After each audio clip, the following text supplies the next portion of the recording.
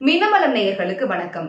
மாநகராட்சிகள் பேரூராட்சிகள் நகராட்சிகள்ல தாங்கள் பெற்ற உறுப்பினர்களோட திமுக தலைவர் முதல்வர் மு க ஸ்டாலின திமுகவுடைய கூட்டணி கட்சி தலைவர்களான காங்கிரஸ் உடைய தமிழக தலைவர் கே எஸ் அழகிரி விடுதலை சிறுத்தைகள் கட்சியுடைய தலைவர் தொல் திருமாவளவன் மதிமுக உடைய தலைமை கழக செயலாளர் துரை வைகோ ஆகியோர் சந்திச்சிருக்கிறாங்க. பரபரப்பான சூழலுக்கு நடுவுல தாங்கள் பெற்ற உறுப்பினர்களோட இந்த சந்திப்பு முதல்வர் கூட அவங்களுக்கு நடந்திருக்கு.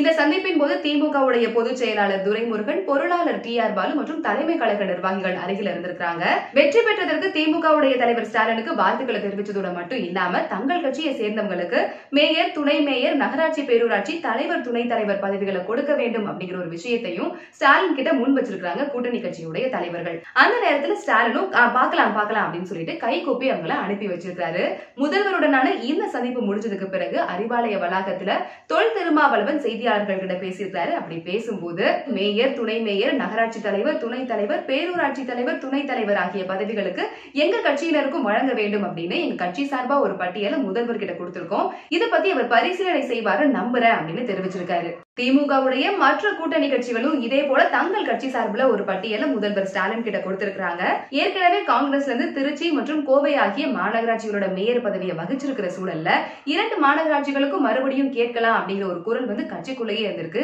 ஆனா திருச்சி மாநகராட்சி மேயர் பதவியை மட்டுமே காங்கிரஸ்க்கு வந்து கோரிக்கையா முன் வச்சிருக்காங்க இந்த சமயத்துல ஏற்கனவே மின்னம்பலத்துல ஒரு செய்தி வெளியிட்டிருந்தோம். அந்த செய்தியில கூட்டணி கட்சிகளுக்கு மேயர் வாய்ப்பு கிடைக்குமா அப்படிங்கிற கேள்விக்கு பதிலா அந்தந்த மாவட்டங்கள் இருக்கிற மற்ற கூட்டணி கட்சியுடைய தலைவர்கள் கிட்ட மேயர் பதவியை கேட்டு மட்டும் இந்த பக்கம் வந்துடாதீங்கன்னு ரொம்ப ஸ்ட்ரிக்டா சொல்லியிருக்கிறாங்க அப்படின்னு நம்ம சொல்லியிருந்தோம். இந்த தகவல் காங்கிரஸ் உடைய மாவட்ட தலைவர்கள் மூலமா காங்கிரஸ் உடைய தமிழக தலைவர் கே எஸ் அழகிரிக்கு கொண்டு போய் சேர்க்கப்பட்டிருக்கு. அது மட்டும் இல்லாம எல்லா கூட்டணி கட்சியுடைய தலைவர்களுக்குமே வந்து அந்தந்த மாவட்ட தலைவர்கள் மூலமா இந்த விஷயம் போய் சேர்ந்திருக்கு. இந்த நிலையில கே எஸ் அழகிரி திருமாவளவன் வைகோ ஆகிய மற்ற கூட்டணி கட்சியுடைய தலைவர்கள்லாம் தங்களுக்குள்ள தனிப்பட்ட முறையில பேச்சுவார்த்தை ஒண்ணு நடத்திட்டு இருக்கிறதா தகவல் கசிஞ்சிருக்கு அந்த கூட்டத்துல நாமெல்லாம் போய் தனித்தனியா பதவி கேட்டோம் அப்படின்னா திமுக நம்மளை அலட்சியப்படுத்துறதுக்கு ரொம்ப ஈஸியா அமைஞ்சிடும். தேர்தலுக்கு முன்னாடி போட்டியிடுற இடங்கள் குறித்து கேட்டப்பவும் அதே மாதிரி தான் நடந்தது. சோ வந்து நம்ம அப்படி இந்த மாதிரி முயற்சி பண்ணக்கூடாது.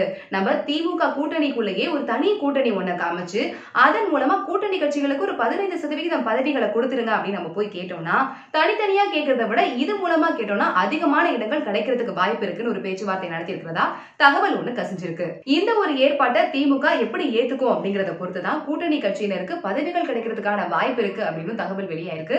என்ன நடக்க போகுது தொடர்ந்து பார்க்கலாம். அடுத்தடுத்த செய்திகளையும் உடனடியா தெரிஞ்சுக்கலாம். இந்த வீடியோவை லைக் பண்ணுங்க ஷேர் பண்ணுங்க. மின்னம்பலம் யூடியூப் சேனலுக்கு சப்ஸ்கிரைப் பண்ணுங்க. லைக் பண்ணுங்க ஷேர் பண்ணுங்க. கீழே கமெண்ட் பண்ணுங்க. மின்னம்பலம் யூடியூப் சேனலை சப்ஸ்கிரைப் பண்ணுங்க.